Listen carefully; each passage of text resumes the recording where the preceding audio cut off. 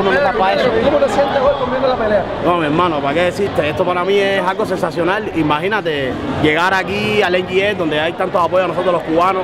La verdad que quiero destacar el trabajo que se ha hecho con Erilandi Lara, porque nosotros a veces nos ponemos metas y en este momento, si nos damos cuenta, no fue así. Nosotros dijimos que todas esas metas se rompieron, que hemos acabado con todas las barreras y que a partir de ahora este es un mundo nuevo en el que comienza el bolseo cubano a brillar y será la realidad. Eso es lo que estamos tratando de hacer ahora mismo.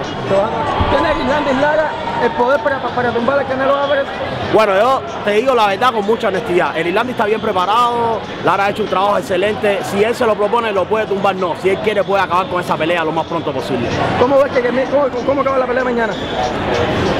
Voy a ser un poco más conservador, pero creo que por decisión. ¿Qué viene para ti? Bueno, para mí vienen muchísimas cosas buenas. Como ustedes saben, estoy ya encima del cuadrilátero agosto 2, el mes próximo, en el Cosmopolitan. Ahí estaré tratando de dar lo mejor de mí, como siempre he dicho hasta ahora. Y esperen mucho, como siempre lo digo en todas mis entrevistas, esperen mucho de Pedro Toledo, porque esto va a ser una carrera muy, pero muy linda. Para el deporte cubano USA tenemos a Pedro Piti Toledo, uno de los grandes en Las Vegas y uno de los favoritos de nosotros. Lo queremos mucho y vamos a estar con esto de aquí. Pedro Toledo.